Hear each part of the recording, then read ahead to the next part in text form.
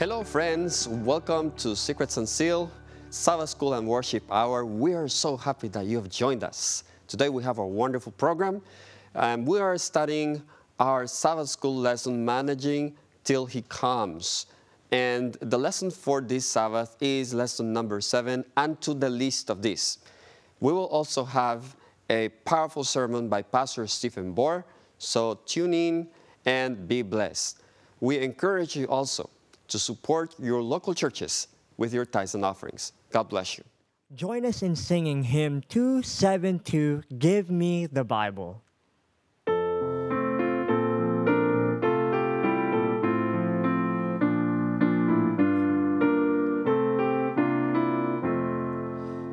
Give me the Bible, star of gladness gleaming, to cheer the wanderer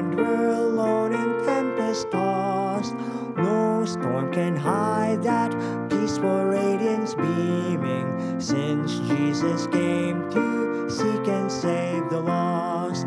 Give me the Bible, holy message shining. Thy light shall guide me in the narrow way. Precepts and promise, law and love combining, till night shall vanish in eternal day. Give me the Bible heart is broken, when sin and grief have filled my soul with fear. Give me the precious words of Jesus spoken, hold of faith's lamp to show my Savior's near. Give me the Bible, holy message shining, thy light shall guide me in the narrow way precepts and promise, law and love combining, till night shall vanish in eternal day. Give me the Bible, all my steps enlightened. Teach me the dangers of this realms below. That lamp of safety o'er the gloom shall brighten. That light alone the path of peace can show. Give me the Bible, shining. Thy light shall guide me in the narrow way. Precepts and promise, law and love combining, till love shall vanish in eternal day.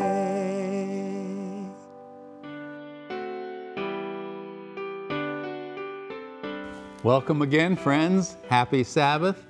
And we're so glad that you decided to join us this week for another exciting episode of Secrets Unsealed and SUMtv Sabbath School Hour, The Church at Study. We have been having a wonderful time discussing this quarter's lesson, Managing for the Master Till He Comes, mm-hmm. and we're going to continue on with a new lesson in the series this week. But before we get started, I would like to introduce my panel. And to my left, we have Jeannie Wheaton, who heads up our prison ministries here at Secrets Unsealed. And I always add that she is a wonderful cook. She's a registered dietitian, an excellent nutritionist, Amen. as well as an excellent theologian. And so, Jeannie, it's so wonderful to have you and your many manifold talents with us this morning. Thank you. It's a blessing to be here. Thank you. All right. To my right, we have my pastor, Pastor uh, Daniel Miranda, who uh, is now the associate pastor at the Fresno Central Seventh day Adventist Church. And uh, we have agreed to bring him back for as many programs as we can, especially here for Sabbath School, because we just love to have you on the panel, Pastor. Thank you very much. It's a pleasure for me to be with my first elder and also with Sister Jeannie. Glad to be here. Very good. This week we're going to be studying the topic unto the least of these. Mm-hmm. Unto the least of these. And before we get started, we're going to ask Pastor Miranda if he'll pray for us, and Jeannie, if you will read our text for the morning. Okay, let us bow our heads for prayer. Dear Heavenly Father, we do not dare to open your word without prayer. Yes. Because we understand that spiritual things are spiritually discerned. Mm-hmm. And as we continue with the study of this lesson, I pray that you may enlighten our minds and also the minds of those who are watching, and that we may apply these practical lessons to our lives. We pray all this in the name of Jesus. Amen. Amen. Okay, our memory text is from Matthew 25, verse 34. Then the king will say to those on his right hand, Come, you blessed of my Father, inherit the kingdom prepared for you from the foundation of the world. All right, very good. Now, as we've been discussing uh, so far this quarter, uh, God has made us managers of His business here on earth. That's right. all, all the world and everything in it belongs to Him, but He has entrusted it to us to manage it for Him. And He allows us to take a certain portion of what He blesses us with for our own use, but then we must divide it up and manage it the best that uh, we can. And part of what we do in managing it is not just supporting ourselves, but supporting what I like to call the kingdom enterprise, doing the biddings of God here on earth. And in doing so, we know that part of God's work is to care for those who are downtrodden, dispossessed, the poor, the fatherless, the stranger in our gates, Yes. uh, the refugee, if you will. And God left us or sent us an example on how this can be done in the life and ministry of Christ. And so this week we're going to look at how we manage the resources God has blessed us with in helping those who are dispossessed, helping those who are struggling in life. And we want to start uh, with uh, reading uh, the verse Isaiah 61, uh, verse 1 and 2. And Pastor uh, Miranda, if you can grab that for us, Isaiah 61, verses 1 and 2, we'll start off with uh, some interesting words we find out about Messiah here. Yes, absolutely. This is a messianic prophecy, and here uh, the Bible says, reading from the New King James Version, The Spirit of the Lord God is upon me, because the Lord has anointed me to preach the good tidings to the poor. He has sent me to heal the brokenhearted, to proclaim liberty to the captives, and the opening of the prison to those who are bound, to proclaim the acceptable year of the Lord, and the day of vengeance of our God, to comfort all who mourn, All right, very good. Now, these are interesting words, uh, and they are spoken again in the New Testament by Christ at the inception of his ministry, uh, where in Luke 4 16, uh, Jeannie, maybe you can grab that for us quickly. Luke 4 16, Jesus is in the synagogue and he is given the scrolls to read from, and he opens the scroll and reads from this passage. And what does it say there, Jeannie? It says, So he came to Nazareth, where he had been brought up. And as was his custom, he went into the synagogue on the Sabbath day and stood up to read. And he was handed the book of the prophet Isaiah. And when he had opened the book, he found the place where it was written, The Spirit of the Lord is upon me, because he has anointed me to preach the gospel to the poor. He has sent me to heal the brokenhearted, to proclaim liberty to the captives, and recovery to sight of sight to the blind, to set at liberty those that are oppressed, to proclaim the acceptable year of the Lord. Now, this, this is an interesting statement that he reads from, from the book of Isaiah. And it is somewhat countercultural Yeah. to the thought of, of, the, of the Jewish religious leaders at the time. Why would that be, Pastor Miranda? What, what, what's happening here? Well, you know, when you study the book of Isaiah, we realize that there are two kinds of messiahs. On the one hand, we have the Messiah spoken of in, in Isaiah 9 that the government shall be upon his shoulder. Mm-hmm. And so we see a political Messiah, a Messiah that would be a king. But on the other hand, we see in Isaiah 53 and Isaiah 61 a suffering Messiah, mm. one that would come down and he would not be a ruler, but actually he would identify with the sufferings of humanity. Now, because of the condition of the Jewish people under the Roman Empire, Yes. they were more inclined to favor the political Messiah, but not the suffering Messiah. Yes. Because their minds have become so worldly, they were more interested in political freedom, but not in spiritual freedom. Mm-hmm. And because of this, when, when, when Jesus came, he didn't exalt the other aspect of the Messiah, not because it's important, it's not important. We are now expecting that king Yes. the kingly Messiah. But Jesus comes as the lowly, suffering Messiah. And this is right when he's beginning his ministry in Galilee in Luke chapter 4, that he presents himself as that Messiah that came to help the poor, the blind, the brokenhearted, those who are captives. Well, what was the pro- what was what would be a problem with, with, with helping the poor, the blind, and, and, and setting free captives, Jeannie? Why why would the people have such a difficulty with that? Oh, because at that time, of course, those that were poor, those that were blind, those were, that were um, the lower of society were looked down upon. And they were, a lot of, um, they believed that they were cursed. Ah, okay.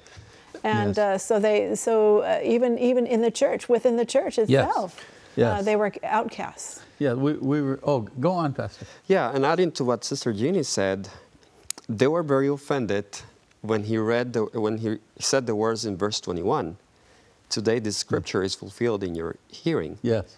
because in one of the clauses it says to proclaim liberty to the captives. Yes. Yes. So they were reminded of their captivity under, under the Roman Empire, even though they boasted of freedom. Mm-hmm.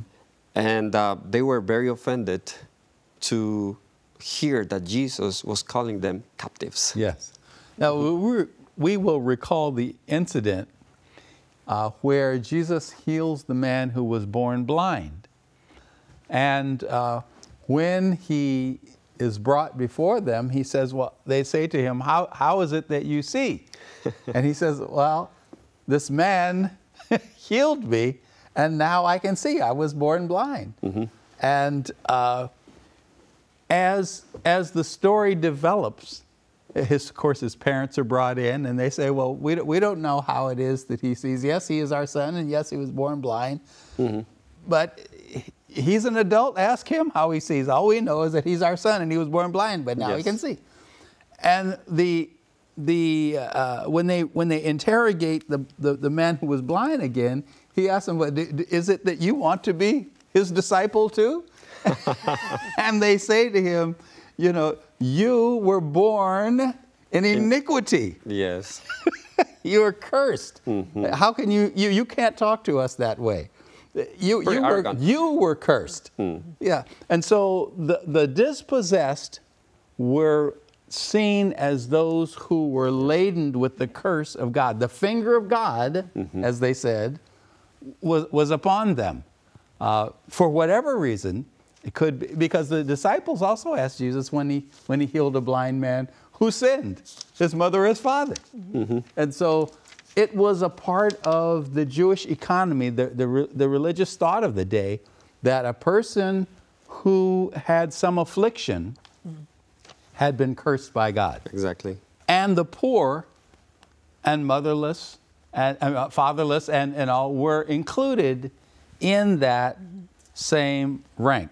Now, uh, in, in our lesson, there is a statement at the bottom. Uh, Jeannie, maybe you'll read it to us uh, from the Desire of Ages, page 215, that Sure. last paragraph. Yes, I have that one starred. Yes. Like the Savior's disciples, John the Baptist did not understand the nature of Christ's kingdom.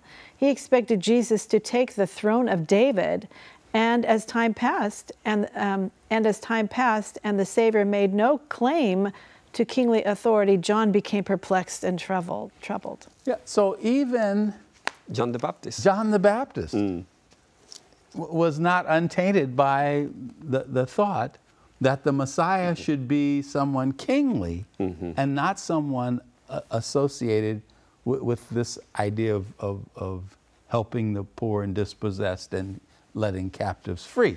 That, that, that was not the way they interpreted what their burning desire would be. Well, you remember the, the Sermon on the Mount. Jesus says, you know, blessed are the poor in spirit, blessed are those that are persecuted for Yes. righteousness' sake. Yes. And, and it says at the end of his Sermon on the Mount, it says, and the people were astonished at his doctrine, for he Yes. taught them as one having authority and not as the scribes. So the pe- it was like upside down. This was all upside down to them. It was not what they were expecting. Yeah, it was very countercultural for the day. Right. Yeah, they, they, they, they, they, they had to re educate their brains to get on the same wavelength with Jesus.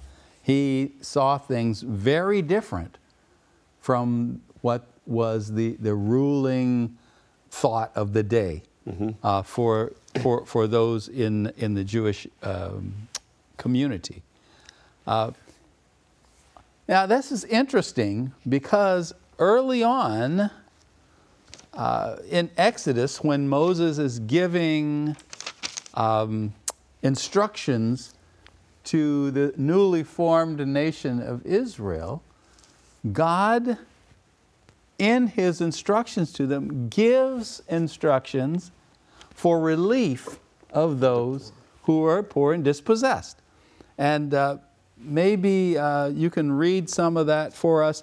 Uh, Jeannie, maybe you can get Leviticus 23, 22. And uh, Pastor Daniel, maybe you can find Deuteronomy 15, 11. Uh, and I'll grab a text here. Uh, Exodus 23, 10 and 11. And here's what Exodus 23, 10 and 11 says. Six years you shall sow your land and gather its produce, but the seventh year you shall let it rest and lie fallow, that the poor of your land, the poor of your land, of your people, may eat, and what they leave, the beasts of the field may eat. In like manner you shall do with your vineyard and your olive grove. Mm-hmm. So here's a provision. Jeannie, what is mm-hmm. your text? Sure, I have Leviticus 23, 22. It says, When you reap the harvest of your land, you shall not wholly reap the corners of your field when you reap, nor shall you gather any gleaning from your harvest. You shall leave them for the poor and for the stranger. I am the Lord your God. Yes. Daniel? So I have verse 11 of Deuteronomy chapter 15. For the poor will never cease from the land.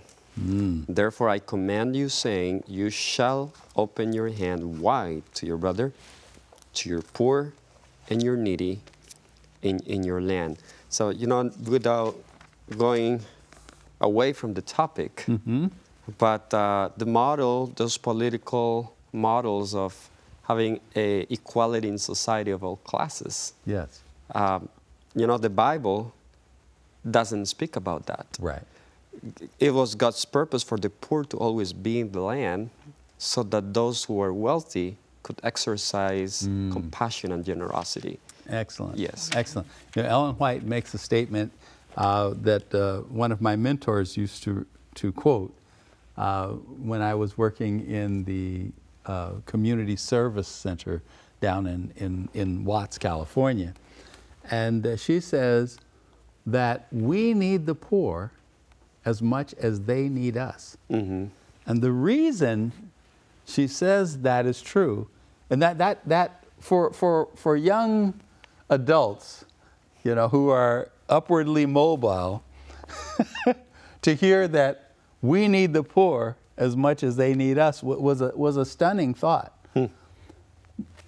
And the reason she gives is that it allows us to demonstrate the character of Christ Yes. to others. I- I- it, is, it is the opportunity God gives us to demonstrate His compassion, the same kind of compassion He has on us. Let me read uh, exactly probably what you were Okay. it says, uh, this is from Testimonies, uh, Volume 3, page 511. Uh, by Ellen White, I saw that it is in the providence of God that widows and orphans, the blind, the deaf, the lame, and persons afflicted in a variety of ways have been placed in close Christian relationship to His church. Yes. It is to prove His people and develop their true character. Amen. Amen. Amen. Yeah, and so it, it is in the plan of God that that we demonstrate the character of Christ in providing for those less fortunate than we are. Amen. Christ at his birth demonstrated his affiliation with those who are dispossessed. He was not born in, in, in, the, in the castle, hmm. but with the cattle. Hmm. yeah, he, He was, not putting born. a feeding trough. yes, he, he was not born with the wealthy, but with the weary, so to speak. Hmm. And so it is, it is through his identifying himself with all classes. He, is, he was God, yet he condescended to be man. And so he is able to identify with every level of humanity. And in doing so, he allows us to know that if our blessings are such that we can share with those who are dispossessed, it is only through his grace that we are able to demonstrate that to others. Amen. Amen. All right. Uh, and so, but he doesn't just talk about giving, even though, you know, we're talking about managing for the master. But here in Psalms 82, uh, 3 and 4, he says, Defend the poor and the fatherless. Yes. Do justice to the afflicted and the needy. Mm-hmm. Deliver the poor and needy. Free them from the hand of the wicked. And so it's, it's, just, it's not just in our, Just providing food. yeah, in in our provisions of, of, of maybe a few dollars or some, something to eat. No, we are to work for their betterment, for their elevation, just as Christ worked for our elevation. You know, there is a good chapter in the book Ministry of Healing that is entitled uh, Helping the Poor, I believe, where she outlines the work that we're supposed to do for the destitute. In the, in the case of the poor, she says, even though she doesn't deny the fact that we need to give them food, and I Yes. think that's very Christian. At the same time, it is not enough just to give them all the time, Mm-hmm. but we need to, and, the principle is found in the verse that you just read, we need to help them grow and be sustainable, teaching them to be useful, Yes. teaching them to save, teaching them self control, and all these things that will make them more successful in life. So that's why sometimes these models of government were, which is good, I mean, we're interested in the poor, but they only give the poor, but they don't help the poor get out of the poverty with the strength and means that, uh, that the government is providing, is not actually doing any good.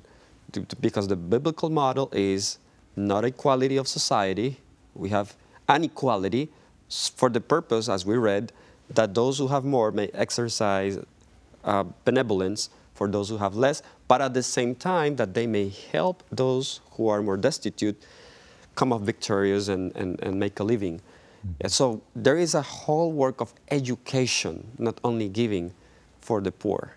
Yeah, in fact, in the Teacher's Quarterly, I like this line. It says, however, remember that as much as possible, the aim of charity is to motivate and enable the person to care for himself or mm-hmm. herself. Yes, Yes. very I good. really like the way that was mm-hmm. put. Yeah, that, that's, that's a beautiful thought. Uh, when we read this morning's text from Matthew 25, uh, where it says, uh, He says to those on His right hand, Come, you blessed of my Father, inherit the kingdom prepared for you from the foundation of the earth. What immediately precedes that is the separation of the sheep from the goats. Now, the interesting thing in that story is that both sheep and goats, this is not believers and non believers, this, these are all from the group of those who profess to be believers. Hmm. Because they said, you know, when, when he talks to, to, to those on his left hand, you know, he says, well, you know, I was hungry and you didn't feed me, and you know, I was naked, you didn't clothe me, and I, you know, I was in prison, you didn't come to visit me. And they said, when did we see you like that? So he's talking to, about those who are affiliating themselves with Christ. And he says, when you didn't, when you didn't do it for the least of these, you didn't do it to me. Mm. On the other hand, when he says to those on his right hand, the sheep, come, you know, and inherit the kingdom, uh, they said, well, when he says, you, you, you, fed me and you clothed me and you came to visit me, and mm-hmm. when I was sick, you took care of me. And they said, well, when did we see you like that? Mm-hmm. And his response was, when you did it to the least of these, you did it, did to, it me. to me. Exactly. And so he, he here is identifying himself with those who are downtrodden and dispossessed. And he demonstrates in this parable that it is our, a part of our ministry to reach out yes. to those who are less fortunate than we are. Amen. And if I may say about that very specific thing, uh, she points out in Desire of Ages, she says, um, uh, in the, about that story, and he represented its decision as turning upon one point. When the nations are gathered before him, there'll be two classes, just what you were showing, mm-hmm. and their and their eternal destiny will be determined by what they have done or neglected to do for yeah. him in the person of the poor and suffering. Yes. So it's just turning upon one point. Yes. Yes. And, that, and that's it. And you know, even though the lesson doesn't bring it up, uh, there is an important chapter that should have been included here, which is Isaiah 58. Uh-huh.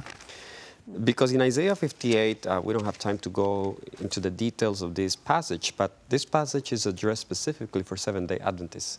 Actually, Ellen White says that in mm-hmm. Testimonies to Ministers. Um, we have Isaiah 58 in the context of the investigative judgment. But there is a problem with the group in that chapter. Mm-hmm. The problem is that they have fallen into formalism. They were into the ceremonies, the fasting, the praying, mm-hmm. the afflicting their souls. But God says, I don't accept your formalism because even though, and let me put it in my own words, your theology is right, your experience is wrong. Yes. Because they were with all these things, but they were not helping the poor, they were not uh, uh, clothing the naked, and, and, and the list goes on, the true fast that yeah. we know. So the remedy for a sleeping, lukewarm church is to be involved in this kind of work. Mm-hmm. Very good. All right. Now we're going to look at uh, some examples uh, that we find in Scripture uh, for those who uh, had access to wealth and how they experienced the, the grace of God in dealing with those who were less fortunate than they were. And we'll start off in Matthew uh, 19, uh, 16 to 22. And maybe uh, if you would read that for us, Sister Jeannie. Okay, sure.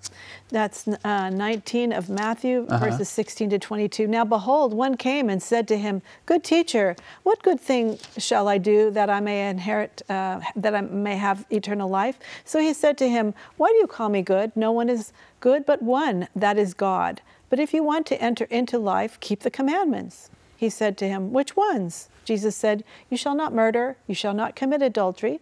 You shall not steal, you shall not bear false witness. Honor your father and your mother, and you shall love the Lord your love your neighbor as yourself.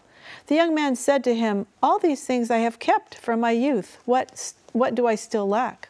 Jesus said to him, If you want to be perfect, go, sell what you have and give to the poor, and you will have treasure in heaven. Come and follow me. But when the young man heard that saying, he went away sorrowful, for he had great possessions. so here, I can't remember if it was Jeannie who mentioned that, you know, Jesus says, well, your, your theology may be correct, but your practice is off base. Yeah. And here he's speaking to this rich young ruler who is a follower of Christ mm-hmm. because he says, I, I, want to inherit eternal life. And, uh, and he says, when, when, when he asks, what, what shall I do? And Jesus tells him, keep the commandments. It's interesting. He, he, he, he reads off, I mean, he quotes off a list, uh, omitting some, one in particular. And I was going to mention Yeah, that, one in particular. and then he includes it by, s- w- w- well, the young man says, well, I've, I've, I've, I've kept these. They had no problem. We're good. he says, well, then, sell all you have and give it to the poor. Hmm. And, and, and this directly struck at, the, at one of the commandments that he had not quoted. Mm-hmm. which is the Ten Commandment. Yes. It- it- you know, Jesus was giving him the opportunity to acknowledge that he was lacking one thing. Mm-hmm. And Jesus, not, not because Jesus didn't know the Ten Commandments, but Jesus purposely left out quoting the 10th, mm-hmm. which was because this was exactly his problem. Yeah. And, on, and of all the Ten Commandments, the, the tenth is the only one that strikes at the heart if we take them to the letter. Because you can judge, you know, thou shalt not um, kill, you can judge it externally. Yes. And the other ones, you can judge them externally. But covetousness, you cannot judge it externally. Covetousness is a heart problem. Yes. Yes. Gina, did you have something you wanted to add? to that? yeah, well, this is really good. She's, uh, she's Ellen White. Um, it talks about this is in manuscripts. Um, did not Christ know what a struggle that ruler would have? He did, and as soon as he should consent to place his feet in the footsteps of his Lord, then through grace given him, the way would be made easy. I really like that. This is the course all must pursue to obtain the prize of a home in God's kingdom, a possession that will never pass away. So he, she, she said he knew that amputation must be made. I like what I like what she says to save his soul from selfish hmm. indulgence and the sure result of transgression.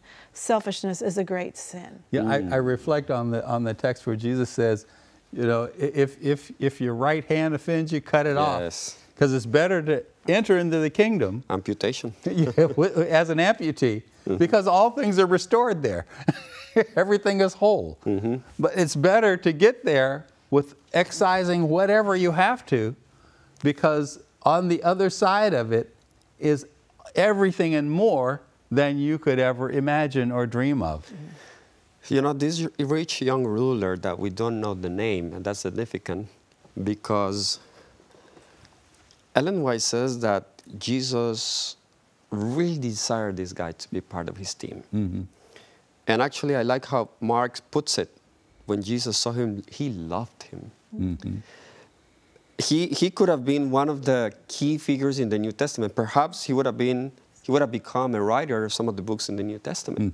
He had great talent and he got great uh, possessions, but this man, this young person, he missed the opportunity. Yes. And because of that, he didn't leave a story to tell, not even a name to share Right, right. because of that. But we see, it's not mentioned in the lesson, um, someone opposite to him, Mary Magdalene, that she was decided to give it all for Jesus. yes, And now her name was immortalized. yes. And Jesus said, wherever this gospel is preached, the story of this woman will also be preached about what she did. Now, we started off the lesson talking about uh, some of the twisted kind of theological thoughts Yes. that were ingrained in, in, in the Jewish mindset at the time, in the Hebrew mindset. And, and Jesus addresses it here in, in Matthew uh, 19, at, at verse 23. Then Jesus said to his disciples after the rich young ruler goes away, Assuredly I say to you that it is hard for a rich man to enter the kingdom of heaven. And again, I say to you, it is, it's easier for that camel to go through the eye of a needle than for a rich man to enter the kingdom of God. And when his disciples heard it, they were greatly astonished, saying, Who then can be saved? if the rich are supposed to be the blessed of God, if they are struggling to make it in, what chance do we have? Mm-hmm. And, and this is, is, is, is part of that, the, the twisted thinking, the distorted thinking of that day Yes. that Jesus came to undo so that we could be liberated to think and act like He thought and acted. And in doing so, recreate in, in us the image of Christ. Now, then, Pastor Daniel, is it important that we all become impoverished to enter the kingdom? Should we all sell everything that we have and become destitute to enter the kingdom? Of course not. This is not the point here. Um, Jesus asks this man to give of his money because that was his God, that was his idol. But he didn't ask everyone the same sacrifice. Um, to Jesus, uh, to, to Jesus to Peter, Peter, he had to leave the nets, the, the, the boats that he had. This man had to leave his money. Yes. But others, like Job, that we'll study later, uh, even though he was tested, but uh, God didn't ask him to, to renounce to all his wealth, actually blessed him even more. So, um, discipleship has to do with leaving whatever separates me Yes. from God. To some people, like the rich young ruler, that was money. For others, it might be something else. All right. It says, uh, she says in, the, in another manuscript, she says, God calls upon his people to turn from the earthly to the heavenly, to yield up to him his own. Nothing that they have is theirs, and that's what we have to realize. Uh, they, they themselves are not their own, for the word, uh, God's word declares you're not your own, you're bought with a price. So, so we have to realize, we, if we, we have to come from that attitude that we ourselves are not our own, we're God's, and everything we have is God's. Very good, very good. Now we want to move on to another character, and that's uh, Zacchaeus, and we find his story in Luke uh, chapter 19. I'll, I'll read uh, just a few verses of it. Uh, chapter 19, verse 1 Then Jesus entered and passed through Jericho. Now behold, there was a man named Zacchaeus, who was a chief tax collector, and he was rich. and he sought to see Jesus, uh, who Jesus was, but could not because of the crowd, for he was short of stature. So he ran ahead and climbed up into a sycamore tree to see, to see him, for he was going to pass that way. And when Jesus came to the place, he looked up and saw him and said to him, Zacchaeus, make haste, come down, for today I must stay at your house. Now, the, from here, the story develops where Jesus goes to the house of Zacchaeus and interacts with Zacchaeus.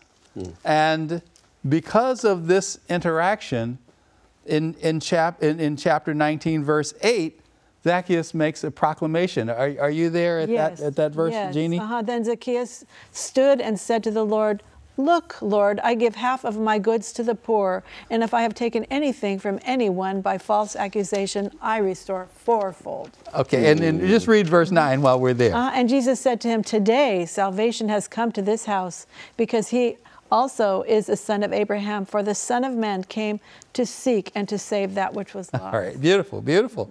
And so now we find this contrast between two wealthy people Yes. the rich young ruler and Zacchaeus. Zacchaeus. Mm-hmm. And when Zacchaeus is in the presence of Christ and as he interacts with Christ, he is, he is impressed that it is not important anymore to have his wealth elevated. And, and it- you know, he alludes to the idea that some of, some of his gain has been ill gain, ill gotten.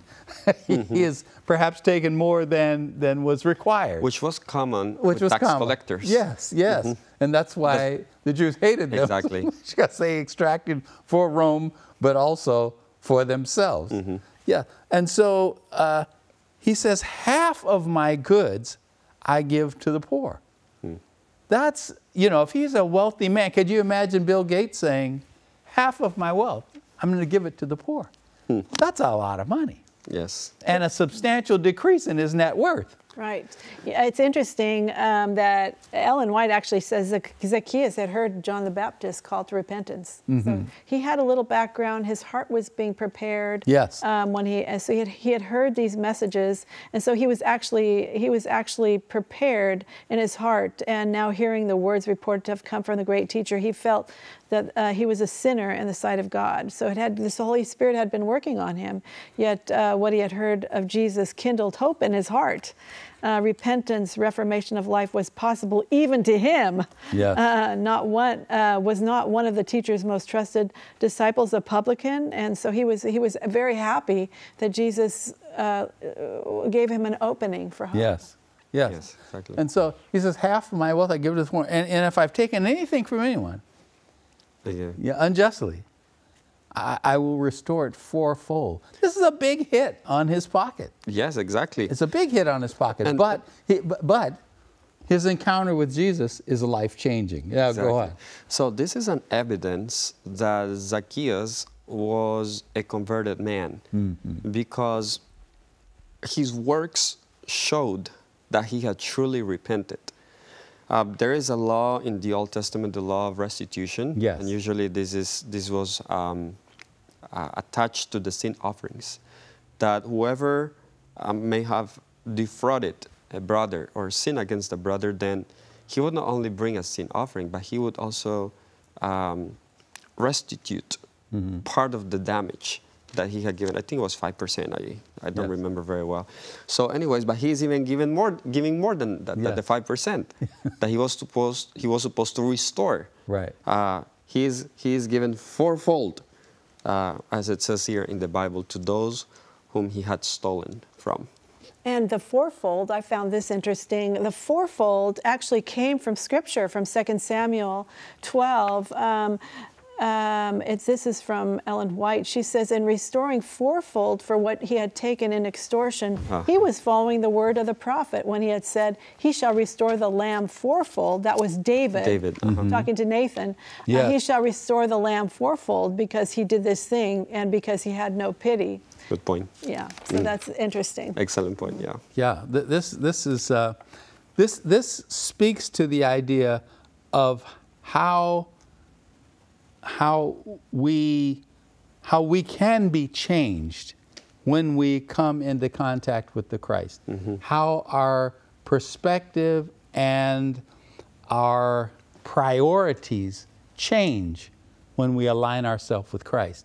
Uh, it's no more how much can I get, Yes. but how much can I help. Amen. Yeah, just as Christ gave all for us, it influences us to give uh, to the cause of Christ. And part of the cause of Christ is helping those who are poor, needy, and dispossessed. Amen. Now, before we end, we, we must speak of Job. We, we have to. And uh, here, uh, Job, uh, in the book of Job, uh, there is something that God says to Job to, to just frame who Job is. And so in chapter 1 of Job, verse 8, it says, Then the Lord said to Satan, Have you considered my servant Job, that there is none like him on the earth, a blameless and upright man, one who fears God and shuns, Shuns evil. evil. So th- this is what God says about Job. And so he, he's, giving, he's giving Job a pretty high marks. I, oh, that, that he could say that about each of us. But That's a pretty uh, good compliment. yeah, yeah, that's that's quite a compliment for Yeah. God to say that um, that that you know you you you you run from evil, and that you only want to do good in your life. but when we um, but when we see how Job lives his life, then we get a fuller picture of who the man Job is. And so I think um, in Job 29, and uh, Pastor Govea, maybe you can grab that for us. Miranda, not Govea. Pastor Miranda. Well, both of you are my pastors, and you both speak Spanish. Although The he's confusion is because of the Daniel. The Daniels, yes, yes, Yes. So Pastor Daniel, I should just call you Pastor Daniel. Okay. If you can get Job uh, 29, 12 through 16. Okay, we'll we'll, we'll see some of how the character of Job uh, plays out. Okay, we're going to read from the New King James Version. Because I delivered the poor who cried out, the fatherless, and the one who had no helper. The blessing of a perishing man came upon me, and I caused the widow's heart to sing for joy. I put on righteousness, that it clothed me in a practical way. Uh, my justice was like a robe and a turban. I was eyes to the blind, and I was feet to the lame. I was a father to the poor, and I searched out the case that I did not know. You know, this is interesting because he didn't only waited for the poor to come to him, But he searched out the case that he did not know. That's right. He was looking for people to help. That's they right. didn't, he didn't expect them to come to him. Yes, yes. I mean, this, this speaks of something about Job's character. Yes, I, li- I like this last paragraph where Ellen White suggested, Don't, do not wait for them, the poor, to call your attention to, to their needs. As act as did Job, the thing that he knew he not, he searched out. Go on an inspecting tour and learn what is needed and how it best be supplied. Wow. Yeah. I like that. Precious. Th- These, these, um, these, should, these statements should, should all bring us pause uh, because off, it's so often that, you know, on Sabbath we, we put in our tithes and our offerings, and, and, and sometimes we walk away feeling justified and good that we, you know, we gave to missions. Mm-hmm. Although our mission offering now has decreased significantly in the past 50 years. Mm-hmm. Mm-hmm. I mean, it's, it's really a very small percentage of our offerings. It used to be one of the major uh, areas where Adventists gave. And now it's, it's dwindled almost down to, I mean, it's good that we give to missions, for sure, but we've lost sight of that. But we, you know, we give to missions and we feel good about it. But here, you know, God has something different in mind for us. Not just that we put money in, but that we are actively involved on a personal level with doing this work. That we invest part of our time, our energy, and our resources in helping those who are dispossessed. Because there is a blessing, as you read earlier, there is a blessing for us in helping those who are less fortunate. Yes. I, I mean, I like Jo- uh, John 8 36, where it says, Therefore, if the Son makes you free, you shall be free indeed. Amen. And so, if we follow this and we do as Christ did, that's true freedom, even though it doesn't seem like it is to the world. Yes. Yeah, many would question uh, why would you, would you give of your means, your hard earned dollars, uh, in support of those who, who are dispossessed? Our time. Our time, yeah, our energies. But the reality is that it is a part of being Christ like. It is what we are called to do. And because we understand that whatever we have, whatever resources we have, belong to God anyway, we're just managing it till He comes. Yes. Yeah, that's our job to manage it till He comes. And so, if we can manage it like He managed, then we're on to something. Amen. I, I often uh, you reflect of some time that I spent with some friends of mine who uh, had means, and I learned from them. And we should spend time with Christ so that we learn from Him as well. Now, for those of you listening on, God bless you. We'll look forward to seeing you next Sabbath with our next exciting episode. As we conclude our Sabbath school service and we begin the worship service, we want to ask the Lord to be especially present with us as we study His Word and as we sing praises to His name. Let's bow our heads for prayer. Father in heaven, we come before your awesome throne in the powerful name of Jesus. We ask that you will bless us with your presence as we prepare now to enter the worship service. We ask that you will edify us and that you will help us honor and glorify your name through the power of the Holy Spirit. We pray in the precious and holy name of Jesus. Amen. Jesus heals a man at the pool of Bethesda. The healing of the man at the pool of Bethesda took place in a city called Jerusalem. The city was surrounded by stones, uh, walls all around. The pool of Bethesda was near the sheep gate, where the temple sheep were washed for sacrifice. This pool had five porches around it. Well, Jesus went into the city and he saw a pool of water called Bethesda. Many people would come to the pool and lie beside it. They thought that an angel would come down and stir the waters. That's what they believed. When this happened, the first person who got into the water would be healed. That was their thought. Now, people could not walk or see, and people who were very sick were lying beside the pool. And you can see in this picture, there's people around the pool. And some were, uh, they, some were, couldn't walk, some were blind, some were just ill. But this man down here, he couldn't walk. He was the paralytic man. So Jesus saw this man, and he had no one to help him. He felt sorry for him. He's people who could not walk or see were there, but this man was, he felt very bad for him because it had been 38 years since he was able to, um, that he had been there. So when Jesus saw the man, he said, he said, Do you want to get well? Sir, the man said, I have no one to help me into the pool. When the water is stirred, and while I'm trying to get in, someone else goes in front of me and ahead of me, and I cannot go in. It's been 38 years. Jesus felt so bad for him.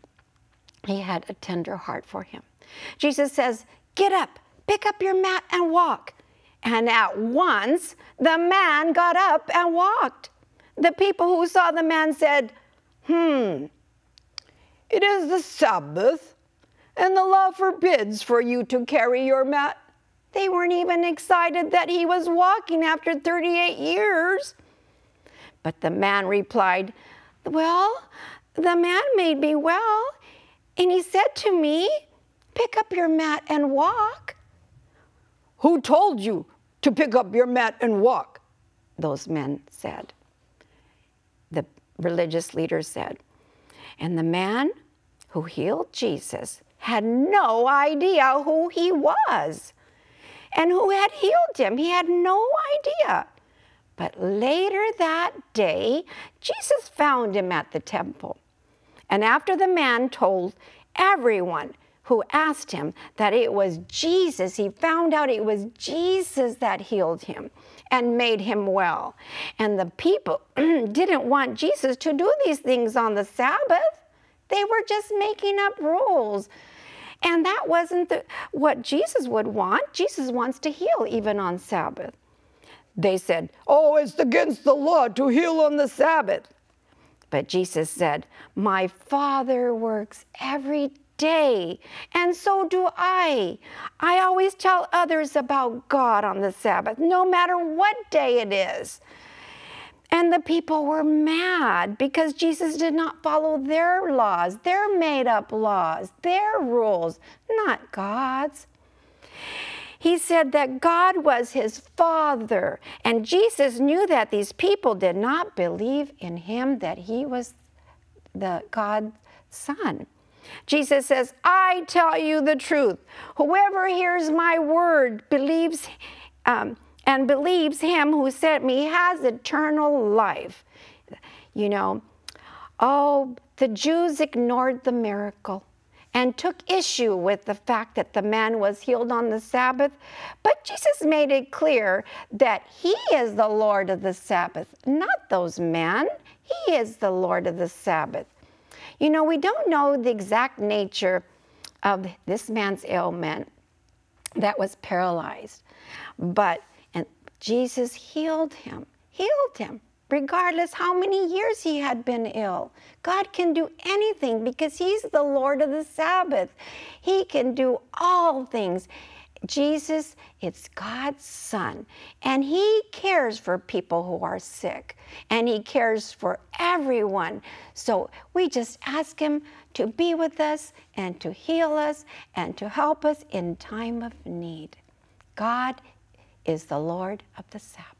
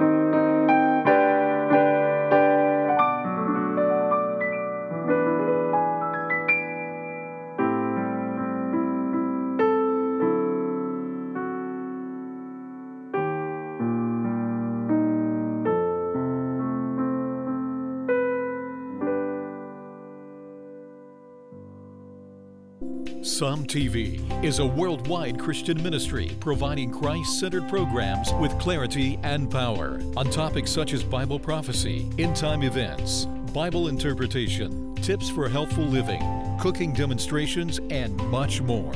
Our programs provide practical counsel for daily life and assurance in these uncertain times. Download the free Some TV app or watch online at SUMtv.org. You will be blessed. Well, good morning, everyone, and happy Sabbath. Today we are going to study a very important subject, and the title of it is The Cities of Refuge. But before we do, we are going to pray as we should do every time that we're going to open God's Word. So I invite you to bow your heads with me as we pray.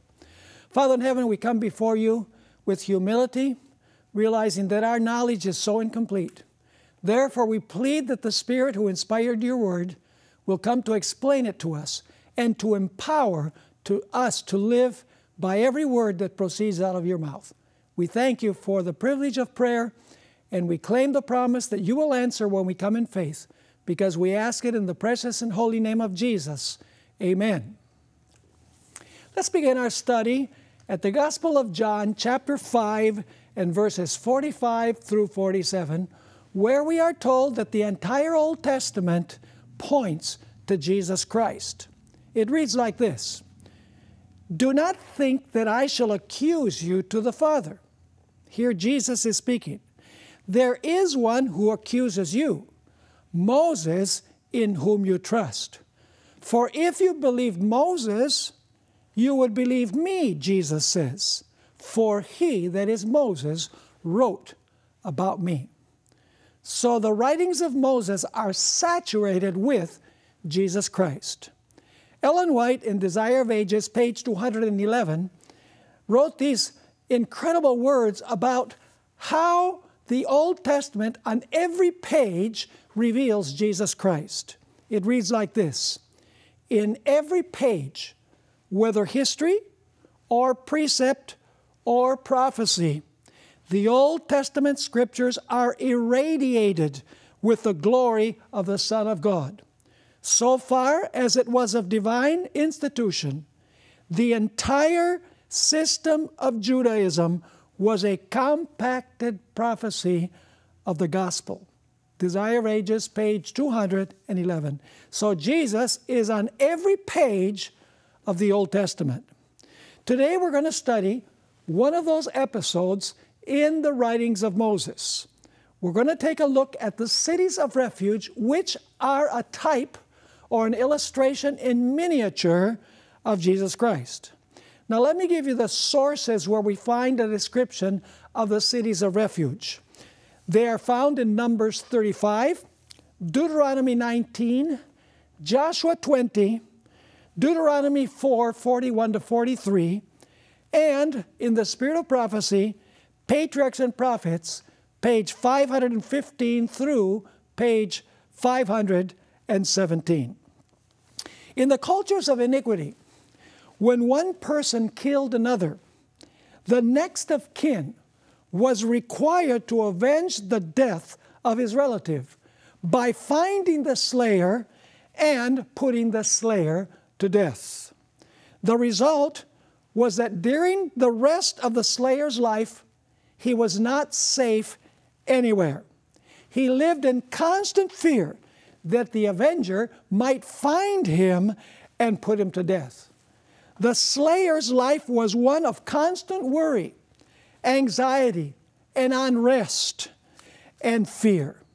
He could not sleep well at night for fear that the avenger was on his track.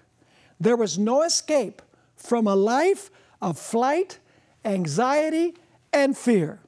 The situation of the slayer appeared to be hopeless. Now, God took this custom from antiquity and he adds something where the slayer could find refuge from the avenger. God added an element to this practice that existed in biblical times. God, in other words, did not abolish the custom, but rather added an element where the slayer could find peace and security within a city of refuge. God set up six cities of refuge where the slayer could flee and be safe from the wrath of the avenger. As long as the slayer made it to the city before the avenger could find him, he was safe. Now let's notice the number and names of the cities. In Joshua chapter 20, verses 7 through 9, we have the names of the cities and the place where they were located. It says there in Joshua chapter 20 and verse 7 So they appointed Kadesh in Galilee, in the mountains of Naphtali, Shechem in the mountains of Ephraim, and Kirjath Arba, which is Hebron, in the mountains of Judah. And on the other side of the Jordan, by Jericho eastward, they assigned Bezer in the wilderness on the plain for the tribe of Reuben, Ramoth in Gilead from the tribe of Gad, and Golan in Bashan from the tribe of Manasseh. These were the cities appointed for all the children of Israel and for the stranger who dwelt among them. That whoever killed a person, and now comes a very important word, whoever killed a person accidentally might flee there and not die by the hand of the avenger of blood until he stood before the congregation. Now, it's interesting to notice the location of these particular cities that we just named from Joshua chapter 20 and verses 7 through 9. These cities were Bezer, which was southeast of the Jordan, Ramoth Gilead, which was central and east of the Jordan, and Golan, which was northeast of the Jordan. The other cities, Kadesh was northwest of the Jordan, Shechem was central west of the Jordan, and Hebron was southwest of the Jordan.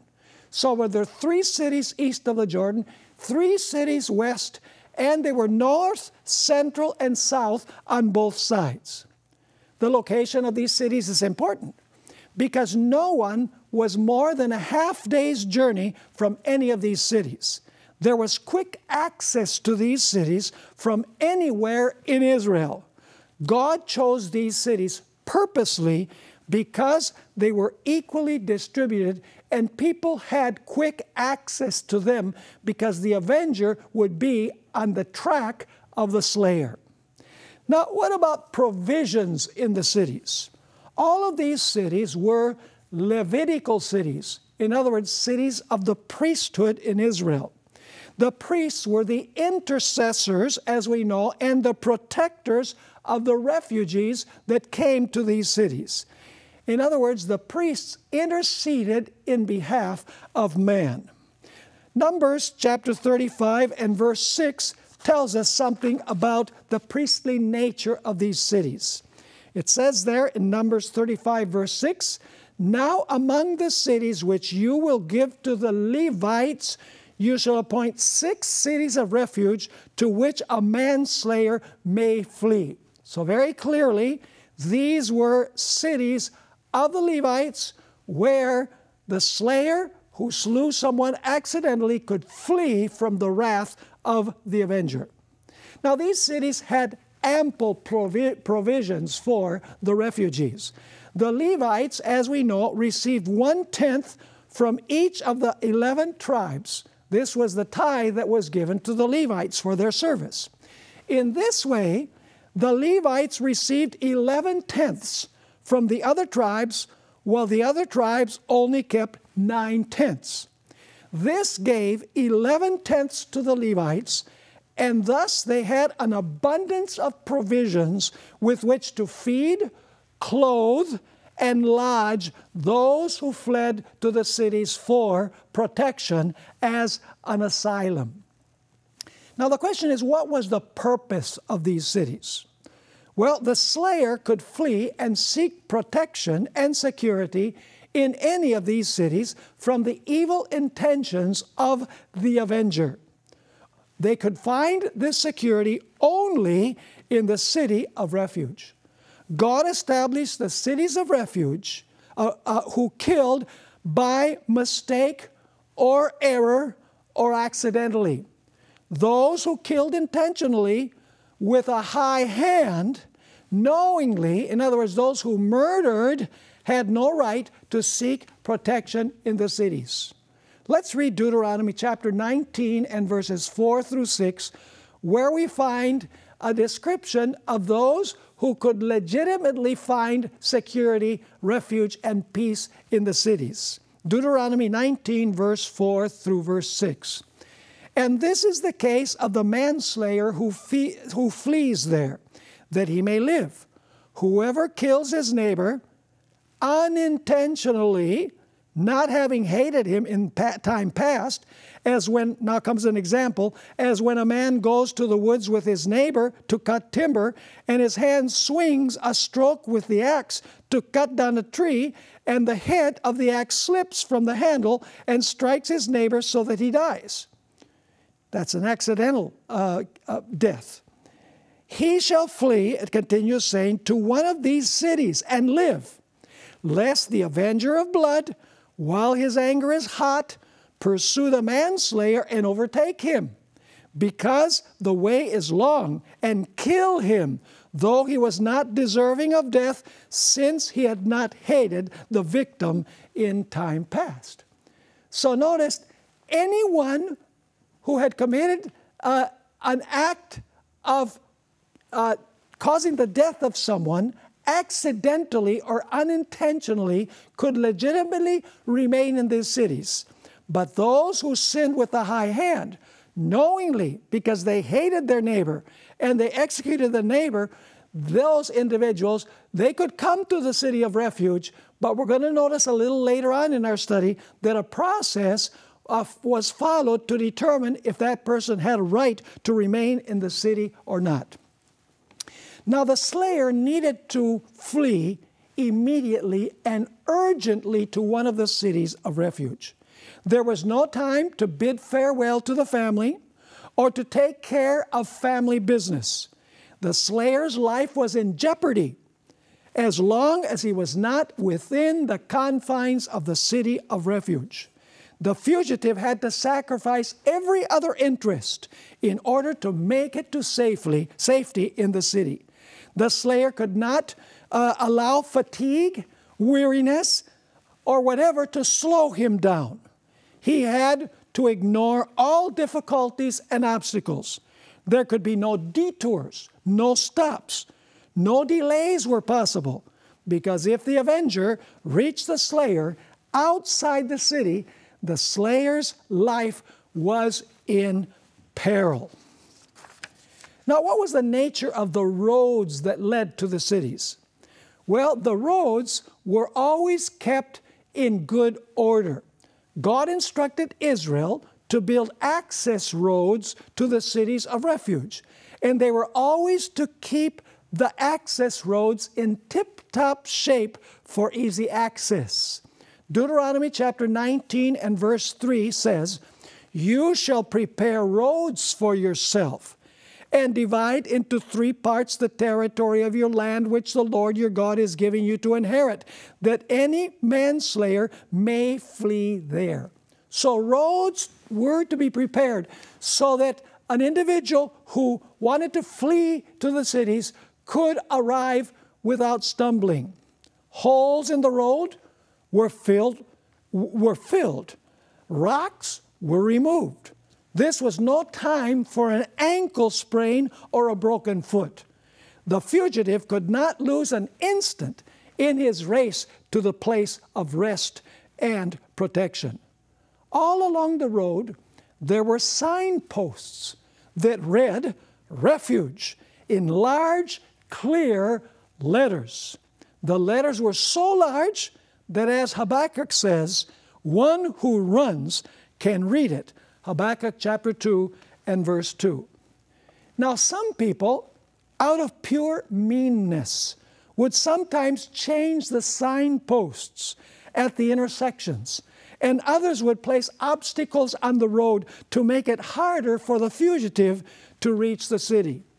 This might mean sure death for the person who was fleeing to the cities. Now, who were the beneficiaries of the cities? The cities were accessible to all, not only Hebrews, but also pilgrims and even foreigners. There was no monopoly or divine right for the Jews alone. Notice Numbers chapter 35 and verse 15. These six cities shall be for refuge for the children of Israel, for the stranger, and for the sojourner among them, that anyone who kills a person accidentally may flee there. So notice the cities were available to everyone, not only to the children of Israel, but also to the stranger and to the sojourner among the children of Israel. Now let's talk about the moment when the slayer arrived in the city. Upon arriving, undoubtedly the fugitive was very tired, but he had to present himself before the elders and the high priest, not a common ordinary priest. He had to present himself before the elders and before the high priest. And probably this happened at the altar of sacrifice, although it's not absolutely certain. In Joshua chapter 20, verse 2, verse 3, and verse 5, we find these words about the arrival of the refugee to the city. It says there, and when he flees to one of those cities and stands at the entrance of the gate of the city and declares his case in the hearing of the elders of that city. Notice that there were witnesses over and above the high priest. So, once again, when he flees to one of those cities and stands at the entrance of the gate of the city and declares his case in the hearing of the elders uh, of that city, they shall take him into the city as one of them and give him a place that he may dwell among them. Then, if the avenger of blood pursues him, they shall not deliver the slayer into his hand, because he struck his neighbor unintentionally, but did not hate him beforehand. So once the slayer was within the confines of the city of refuge, the avenger had no access to him. The individual was protected by the high priest and by the elders who met him at the door of the city. However, we need to go a step further. After the fugitive found refuge in the city, an impartial jury presided by the high priest sat to examine the evidence to see if the slayer had truly committed an accidental act. In other words, the slayer was innocent until proven guilty when he uh, appeared before the high priest and the jury. It was to be determined if the person was guilty of premeditated, purposeful, open, high handed sin or accidental sin due to human limit limitations, frailty, or weakness.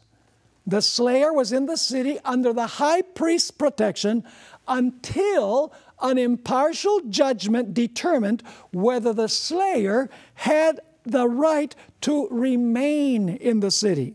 The court verdict only confirmed the right of the person to asylum or denied that right based on an examination of his past behavior. In other words, there was an investigative judgment to see if the person truly deserved to be in the city of refuge. Now let's read the Bible description of this. Joshua chapter 20 and verse 6. And he shall dwell in that city until he stands before the congregation for judgment, and until the death of the one who is the high priest in those days. Then the slayer may return and come to his own city and his own house to the city from which he fled. So notice, he had to stand before the congregation for judgment. He could remain in the city until his case was examined in the judgment. Notice also Numbers 35, verse 12 verses 24 and verse 25. It says, They shall be cities of refuge for you from the avenger, that the manslayer may not die until he stands before the congregation in judgment. So notice this he was secure in the city, protected by the high priest and by the elders of the city until he stood in the judgment. And if it was determined by an examination of the evidence that his sin had been unintentional or accidental, he was allowed to remain in the city. If not, he was given into the hand of the avenger, as we're going to notice in a few moments. So it says, They shall be cities of refuge for you from the avenger, that the manslayer may not die until he stands before the congregation in judgment.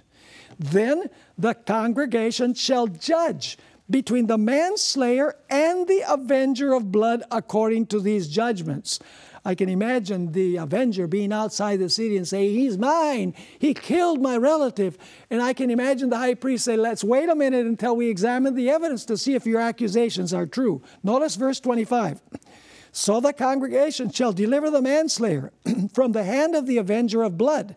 And the congregation shall return him to the city of refuge where he had fled, and he shall remain there until the death of the high priest who was anointed with the holy oil. Now, the judgment was very interesting. It needed to be, uh, the evidence needed to be 100% true for the individual either to remain within the city or to be given to the avenger. One witness in the judgment could not determine the result of the judgment. More, there needed more than one witness. Witness. No matter how powerful the circumstantial evidence against the fugitive was, he could not be convicted based on the testimony of one witness.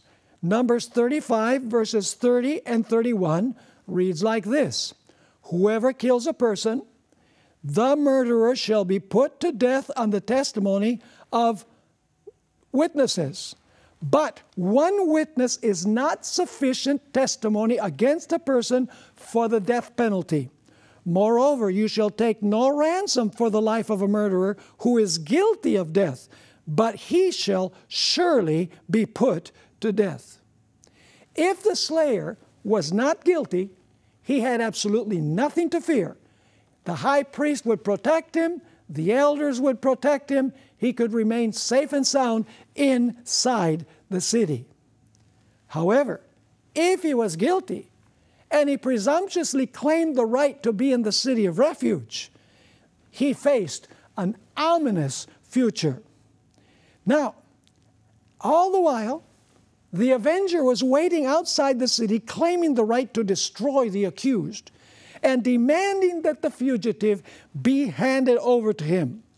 In case a person claimed the protection and refuge of the city was lying and was presumptuously claiming the right to protection, he was handed over to the avenger to be destroyed.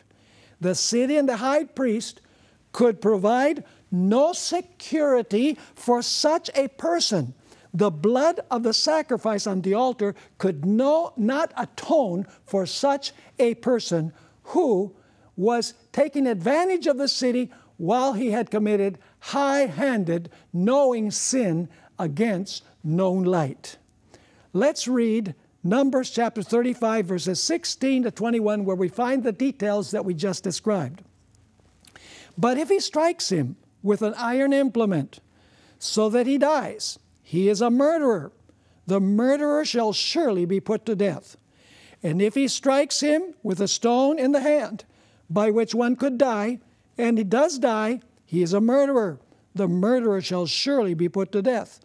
Or if he strikes him with a wooden hand weapon, by which one could die, and he does die, he is a murderer. The murderer shall surely be put to death.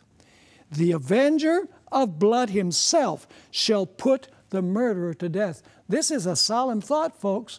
In other words, if the person presumptuously claimed the protection of the city, when that person had committed known sin with a high hand, he was delivered to the avenger to be destroyed. Verse 19 says, The avenger of blood himself shall put the murderer to death. And When he meets him, he shall put him to death.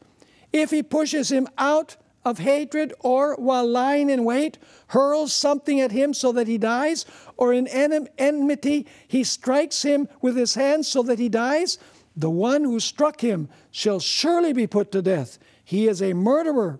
The avenger of blood shall put the murderer to death when he meets him. Now, what would happen if a witness lied about uh, the individual who was accused? Notice Deuteronomy chapter 19, verses 18 and 19. It says there, and he and the judges shall make careful, careful inquiry, and indeed, if the witness is a false witness who has testified falsely against his brother, then you shall do to him as he thought to have done to his brother. So you shall put away the evil from among you. This is really something. In other words, if a, fa- if a false witness testified against the individual who was in the city of refuge, that person was to suffer the penalty that the slayer supposedly was going to suffer. Now, if the court of law pronounced the refugee not guilty, was the refugee secure forever? Was he once secure, always secure? If innocent, he could remain rightfully in the city and be safe. However, only by abiding or remaining within the confines of the city of refuge, under the protection of the high priest, could he be secure and in full peace. Now you say, so he had to stay in the city of refuge forever and ever and ever? No, not necessarily. We're going to notice that there was a certain point when the individual could leave the city of refuge and go home. If at any time the refugee, refugee decided to abandon the prescribed limits of the city and the avenger found him, he might have to pay for his negligence with his life. He could not leave the city even for an instant. Nostalgia for his family, his friends, his work, his possessions, and the comforts of home might entice him, yet he must abide within the city. It was a case of one, it was a case of one secure, always secure, as long as he chose to remain within the city of refuge. Notice Numbers chapter 35 and verses 26 to 28, where we find the details that I just described. But if the manslayer at any time goes outside the city, the limits of the city of refuge where he fled, and the avenger of blood finds him outside the limits of his city of refuge, and the avenger, the avenger of blood kills the manslayer, he shall not be guilty of blood. Because, notice this, because he should have remained in his city of refuge un, until a certain point. This is a key point.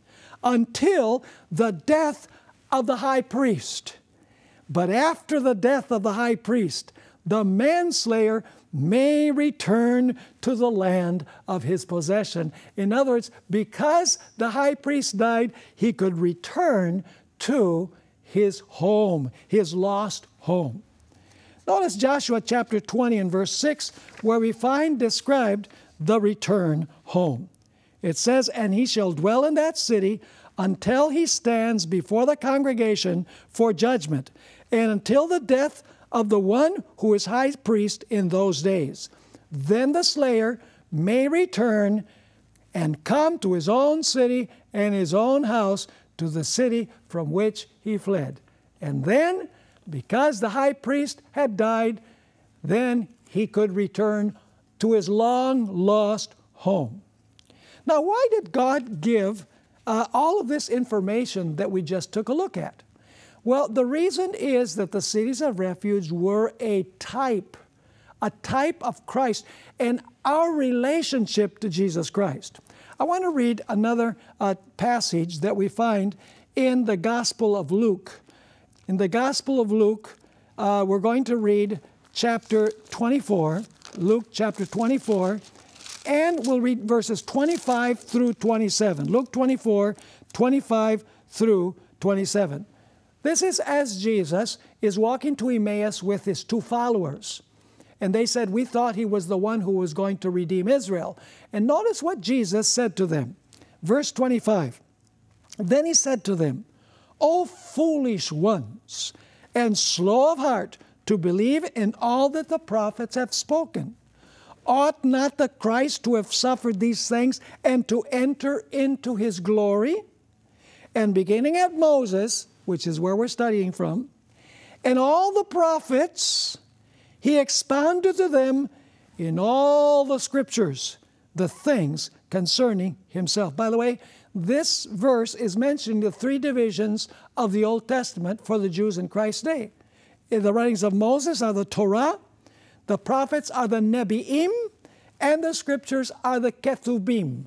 So Jesus basically saying the whole Old Testament speaks about me. Then a bit, little bit later on, Jesus met the disciples in the upper room.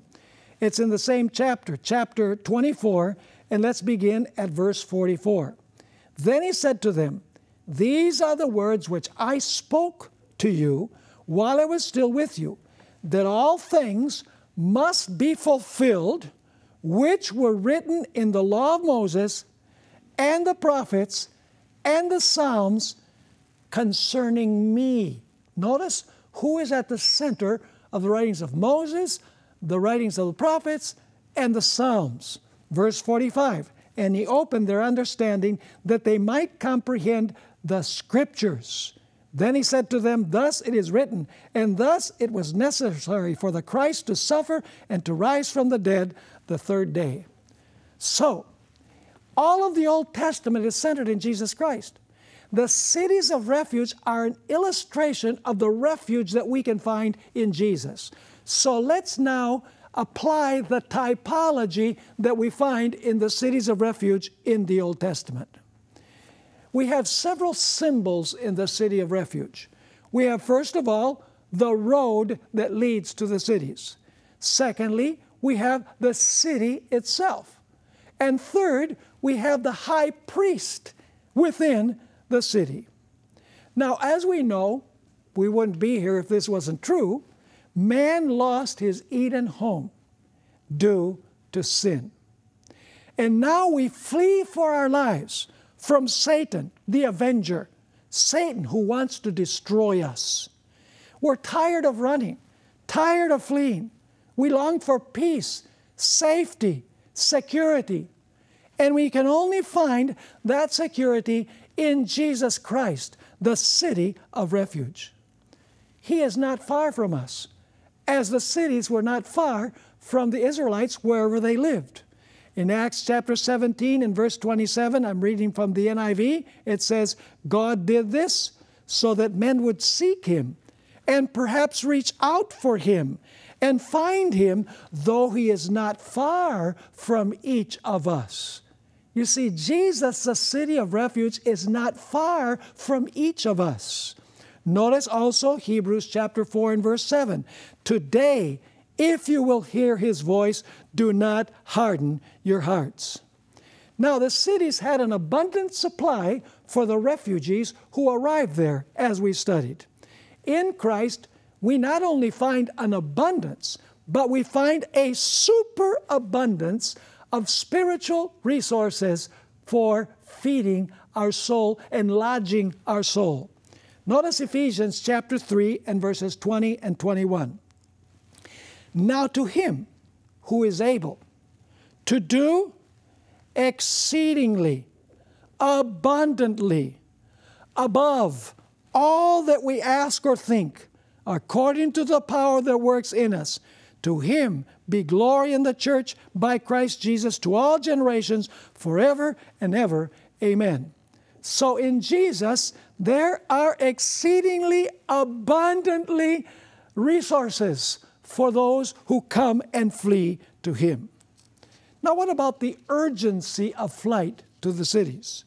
We must cast aside anything that stands in the way in our flight to Jesus Christ because the avenger, Satan, is on our track. We cannot allow our jobs, our family ties, our friends, our possessions, and worldly pleasures to engross our attention. We must flee to Jesus, the city of refuge, immediately in order to escape the wrath of the avenger.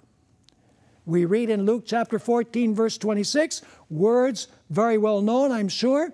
If anyone comes to me, Jesus says, and does not hate his father and mother, wife and children, brothers and sisters, yes, his own life also, he cannot be my disciple. Now, is Jesus telling, that we're, telling us that we're supposed to hate our father and our mother, our wife and our children, our brothers and our sisters, and our own life? That's not exactly what he's saying. What he's saying is that none of these things can take first place.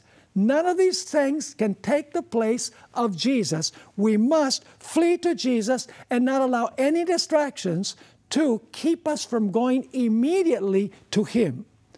Luke chapter 18, 29 and 30 also tells us about the urgency of fleeing to Jesus now, not tomorrow, not next week, not next month, now, because the avenger is on our track. Luke 18, 29 and 30 says, So he said to them, Assuredly I say to you, there is no one who has left house or parents or brothers or wife or children for the sake of the kingdom of God, who shall not receive many times more in this present time and in the age to come eternal life. Detours, stops, and delays in coming to Jesus, the city of refuge, are dangerous. One minute from now may be too late because the avenger is constantly on our track to destroy us. We must come immediately to Jesus, the city of refuge. In Psalm 9, verse 9, we find these beautiful words The Lord also will be a refuge for the oppressed, a refuge in times of trouble. Now, what about the road that leads to Jesus? Well, the fact is, the road is Jesus. Jesus is the city, Jesus is the high priest, and Jesus is the road, interestingly enough.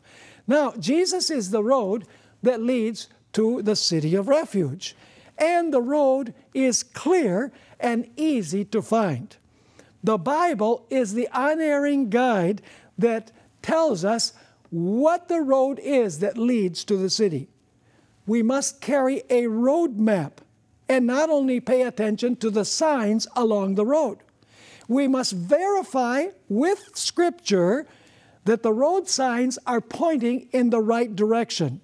If there is any contradiction between the map to the cities, which is the Bible, the map to Jesus, and other signs that seem to lead to Jesus, we must allow the Bible to point us in the right direction. Ellen White wrote these very interesting words A signpost was erected by God for those journeying through this world. So, what has God placed? A signpost for those who are journeying through this world. One arm of this signpost pointed out willing obedience to the Creator as the road to felicity and life, while the other arm indicated disobedience as the path to misery and death. The way to happiness was as clearly defined as was the way to the city of refuge under the Jewish dispensation. She's referring to the cities of refuge. And then she says this But in an evil hour for our race, the great enemy of all good turned the signpost around, and multitudes have mistaken the way. Because they look at what seems to appear, what someone else says, or what they read somewhere. But the Bible is the, only sure guide to Jesus Christ. We all know that verse in John 14, verse 6, where Jesus says, I am the way. By the way, the word way is really the word road in Greek. It's hodos. I am the way, Jesus says, and the truth and the life. No man comes to the Father but by me. By the way, Jesus is accessible to all. It doesn't matter what their race is, it doesn't matter what their nationality is. There is not a certain group that has a monopoly on coming to Christ a monopoly on salvation. Everyone is welcome. In Colossians chapter 3 and verse 11, we find these beautiful words There is neither Greek nor Jew, circumcised nor uncircumcised, barbarian, Scythian, slave or free, but all is all, but, but Christ is all and in all. So Jesus is of easy, easy access to every person that lives on earth. It doesn't matter what their race is, their nationality is. They, there's not one group that has a monopoly over Jesus, so to speak. Now, Jesus is not only the road, Jesus is also the high priest.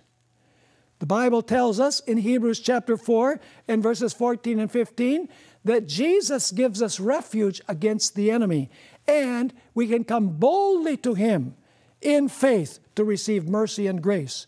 It says in Hebrews chapter 4, verses 14 and 15 Seeing then that we have a great high priest who has passed through the heavens, Jesus, the Son of God, let us hold fast our confession. For we do not have a high priest who cannot sympathize with our weaknesses, but was in all points tempted as we are, yet without sin. And now comes the counsel. Let us therefore come boldly to the throne of grace. And who is at the throne of grace? The high priest, Jesus Christ. Let us therefore come boldly to the throne of grace that we may obtain mercy and find grace to help in time of need. So when we come to Jesus, Jesus receives us and he provides for us refuge. However, in our case, there will also be an investigative judgment. Everyone who has come to Jesus, the city of refuge, claims protection of Jesus as their representative and as their intercessor. But the judgment will examine whether we were truly repentant, where we truly confessed our sins, whether we truly had faith and trust in Jesus. In other words, we can claim to find refuge in Jesus, but the judgment will reveal whether we really had a right to seek that refuge. Notice Ecclesiastes chapter 12 and verses 13 and 14. Here, the wise man Solomon, who for a period was kind of foolish, wrote this Let us hear the conclusion of the matter.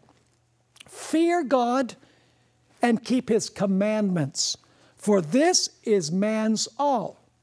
For God will bring every work into judgment, including every secret thing whether good or evil. Like those who came to the city of refuge, we must stand before the judge for our actions to be examined to see if we have sinned with a high hand and not have and we haven't come with repentance and with a confession and true faith in Jesus Christ.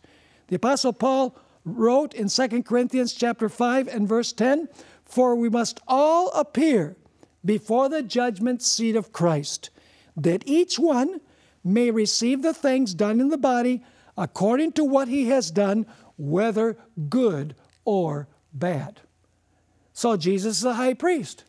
We can find protection and refuge in him in the city, but we must stand before the judgment bar of Christ to see if our sins were sins uh, due to accident, due to human weakness, or whether they are sins with a high hand, knowingly going against light that God has provided for us.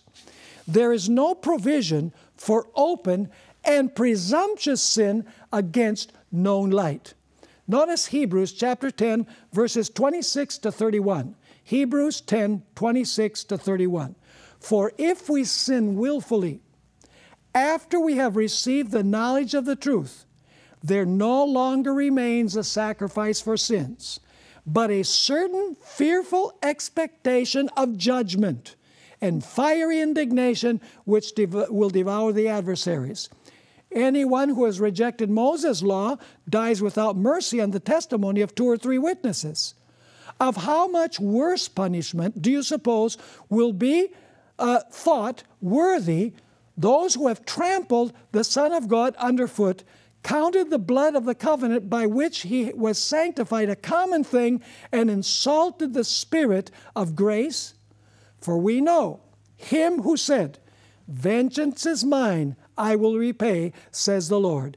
And again, the Lord will judge his people. It is a fearful thing to fall into the hands of the living God. So be very careful not to claim Jesus as refuge while we are hanging on to known sin, sin that is against known light.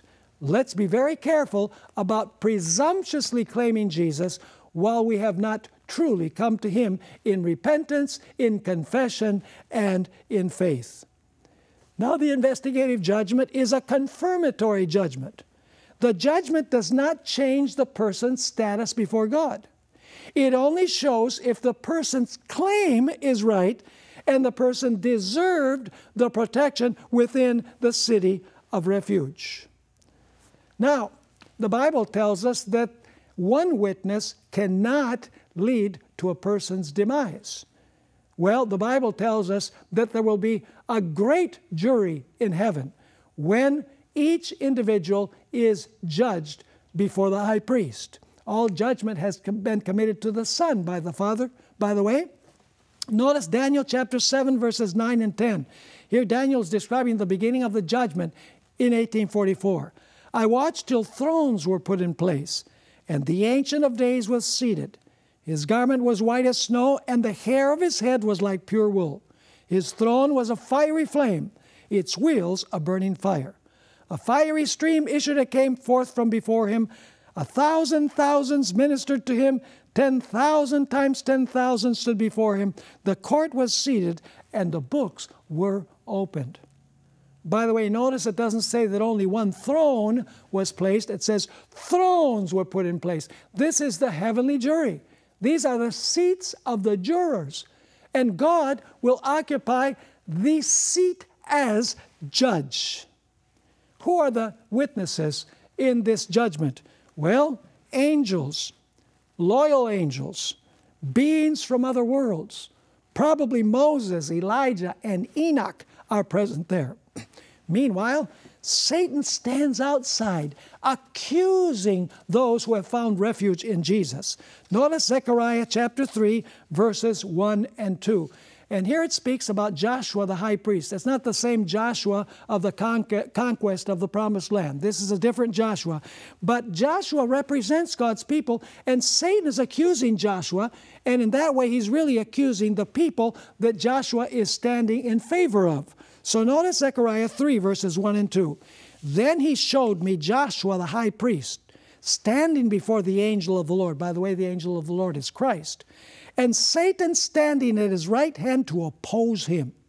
And the Lord said to Satan, The Lord rebuke you, Satan. The Lord who has chosen Jerusalem rebuke you. Is not is this not a brand plucked from the fire? Now, what happens if, if an individual has claimed Jesus Christ as Savior, has claimed a right to be in the city of refuge, but the judgment shows that that person was not truly converted and only sought refuge to escape from the wrath of the avenger. Well, the Bible tells us that the time will come when the door of probation will close. Revelation chapter 22, verse 11 tells us that at the conclusion of the judgment, all cases have been decided. And by the way, at that point, the tares have been separated from the wheat. The tares are not the worldly people. The tares are individuals who claim to be believers. You see, in the church, there are good fish and bad fish. There are wise virgins and foolish virgins. There is wheat and there are also tares in the church. So, in other words, this is referring to people who claimed to be believers, but Their works in the judgment show that they were not true believers. They had not committed their lives fully and completely to the Lord. Notice Revelation 22 and verse 11. He who is unjust, let him be unjust still. He who is filthy, let him be filthy still. He who is righteous, let him be righteous still. He who is holy, let him be holy still. And then those who have claimed to be followers of Jesus, but the judgment proved that they were not genuine believers, they will be handed over to the avenger, to the wicked one. In Great Controversy, page 614, Ellen White described what happens after the close of probation. The wicked have passed the boundary of their protection. The Spirit of God, persistently resisted, has been at last withdrawn. Unsheltered by divine grace, they have no protection from the wicked one. Now we know that Satan is a liar from the beginning and he's a single witness that accuses God's people. Notice John chapter 8 and verse 44. Here Jesus said to the Jews that he was speaking to, You are of your father the devil, and the desires of your father you want to do. He was a murderer from the beginning and does not stand in the truth because there is no truth in him. When he speaks a lie, he speaks from his own resources, for he is a liar and the father of it. As the judgment goes forward, Satan accuses God's faithful people who have come to Jesus the refuge. He says, They're mine because they were sinners. And Jesus, the high priest, will defend their right to be, so to speak, in the city of refuge. By the way, the judgment is not going to change anything. Let me just explain by using a couple of, a couple of illustrations. You know, in sports, there is what you call the instant replay. What is the purpose of the instant replay? Well, you know, the World Cup was recent, recent. And sometimes when it seems like the referee has made the wrong call, then the referee goes to a box and he sees the replay. Now, let me ask you, what is the purpose of the replay? Is it to change the play? No. It's simply to show if the referee uh, got the call right. In other words, the instant replay does not change the play, it's to see if the referee got the play correctly called. And so the investigative judgment is not going to change anyone's cases. In the investigative judgment, it's simply going to show who truly believed in Jesus and who didn't. It is a judgment review, in other words, an investigation to see if the, pro, pro, uh, the provision was claimed truly by the believer. Now, so if we've come to Jesus and we are secure in the city of refuge, spiritually speaking, today, are we once secure, always secure? And the answer is yes. As long as we abide in Him, the city of refuge, we are safe. Jesus said in John chapter 15, verses 1 through 10, Abide in me and I in you. Abide means to stay in the city of refuge. It's the, coming to the city of refuge is not a visit. It is an abiding within the city of refuge. It is an abiding in Jesus Christ. It is remaining in Him. I might give you an illustration that I've used in previous presentations, so if you've heard it, it'll just be a review. When I was a kid, I used to collect butterflies. I lived in the country of Venezuela where they have beautiful tropical butterflies. And I would go to this national park and uh, they had just spectacular these blue butterflies uh, that kind of shone when they flew, flew through the air. They had uh, butterflies that had numbers on the back of their wings, believe it or not. They had uh, butterflies that always sit on the tree trunk upside down. They have two eyes like an owl because that way they protect themselves from the birds. So I collected butterflies at that time, and uh, you know, I would go to this national park uh, with my jar that had carbon tetrachloride and with my net, and I would catch the butterflies and I put the butterflies in the jar. By the way, I don't do it anymore. Uh, whenever I, I, teach the uh, Pathfinder honor, I have them color butterflies because I don't think that we should really be killing the creatures of God. Uh, that was in my very youngest years. But anyway, I would put the butterfly inside the jar where the carbon tetrachloride was, and the butterfly would die almost instantly. And then I would take the butterfly, I would put a pin through its body, and I would mount it on uh, wood until it dried, and then I would add it to my collection. Well, several years after I went back to the national park because it wasn't uh, in the city of Caracas where we lived. We had to travel probably about three hours to get to this place where the national park was. Several years passed. We didn't go there, but then we, we returned once. And um, when we returned, I had my net and I had my jar and I had all everything I needed for uh, catching butterflies and mounting them. And as I was entering into the uh, into the national park, uh, the ranger who was there said, uh, "Where are you going with uh, with that net?" I said, "Well, I'm going to catch butterflies." He said, uh, "No, you're not going to catch butterflies." I said, "But I used to come here to catch butterflies all the time." He said, "No, but since then, this park has been declared by the government a national refuge, and you cannot catch anything. You cannot kill anything. You can't pick anything off a tree. Uh, you can't take any plants. Everything is protected in this national park." Now, it's interesting, the first time that I went to that park, uh, there was these beautiful blue butterflies, large, they're called morphos. They would fly through the air. They didn't fly straight, they would go up and down, up and down. And, uh, you know, the first time that I tried to catch one of those butterflies, I had my net and I was running through the, through the jungle because it's a jungle-like area, tropical rainforest. And I would swing at the butterfly, he would go down, I would swing and he would go up. And I just just about killed myself going after the butterfly, and I wasn't able to catch him. And I noticed that the individual who took care of the park uh, kind of was smiling, and I said, uh, You know, why are you smiling? He says, Why are you killing yourself trying to catch those butterflies?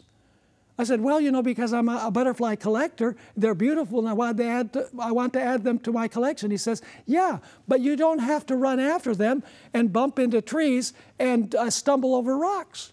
There's a very easy way in which you can catch those butterflies. I said, Oh, really? Uh, give me the secret. He said, All you have to do is go to the store and buy a super ripe banana. And take the banana and throw it on the ground and leave it there for about a half an hour and then come back in a half an hour and see what happens. I said, Does that really work? He said, You better believe it.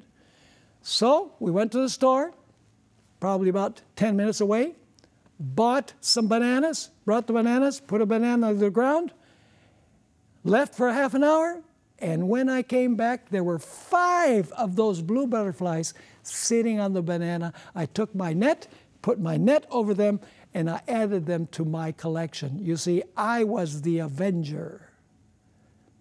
But when I came back to the national park, and they would not allow me to catch butterflies, the ranger said, No way, it's a national refuge now. So I thought to myself, This is a piece of cake. All I have to do is go outside the fence of the national park and I'll throw my banana on the ground. And if any butterfly risks coming over the fence and sitting on the banana, I will catch that butterfly, put it into the carbon tetrachloride, and add it to my collection. And that's exactly what I did I put a banana on the ground, came back, and there were several of those butterflies there, and I caught them and added them to my collection. You see, when we come to Jesus, the city of refuge, and remain in Him, abide in Him inside the city, we are absolutely safe. But if at any, at any point we decide to abandon our connection with Jesus, our city of refuge, so to speak, we are on dangerous ground because the hunter is after us to destroy us. The Bible tells us in 1 Peter chapter 5 and verse 8, be sober, be vigilant, because your adversary the devil walks about like a roaring lion seeking whom he may devour. Now, is there any time, folks, when we can be eternally secure from the power of the avenger and go back to our home? Yes. The Bible tells us that it is when the high priest dies. Now, this doesn't mean that when Jesus dies in heaven, then we're going to go to heaven and we're going to live forever. Uh, we're going to live there for a thousand years and then come back to the earth and live forever here while Jesus is dead. I think the point that Moses is making here, inspired by the Holy Spirit, is that it was the death of the high priest that guarantees that someday we will return to our everlasting home. Jesus said, The meek will inherit the earth. The death of Jesus sealed the final destruction of the avenger or the accuser for being a false witness. Our eternal security we owe to the shed blood of Jesus, our high priest, which guarantees the destruction of the avenger as a false witness and us returning to our long lost Eden home. Isn't this a beautiful illustration of Jesus as we find it in the Old Testament? Many Christians say, We're New Testament Christians. You Adventists, you are Old Testament Christians. Listen, folks, you cannot in any way understand the New Testament without the Old, or the Old without the New. St. Augustine once said, The Old, the New is in the Old concealed, and the Old is in the New revealed. They both work together. They both point to Jesus Christ. They teach us lessons concerning salvation and perdition. So the question is, as we come to an end today, have you found refuge in Jesus? Are you abiding in Jesus Christ day in and day out? Or have you not come to Jesus? Or have you gone outside the city of refuge where Satan might have access to you? That's a decision that we have to make. And I call upon you and upon everyone who is watching. If you're not in the city of refuge, come. Jesus is waiting with open arms. And if you go, have left the city of refuge, please come back to Jesus and abide in Him so that when Jesus comes, we will live forevermore in our long lost home. God bless you.